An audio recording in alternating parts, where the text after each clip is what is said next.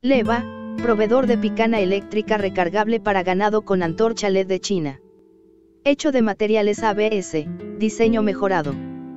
Con luces LED, batería recargable de larga duración y motor libre de mantenimiento, sellado permanentemente.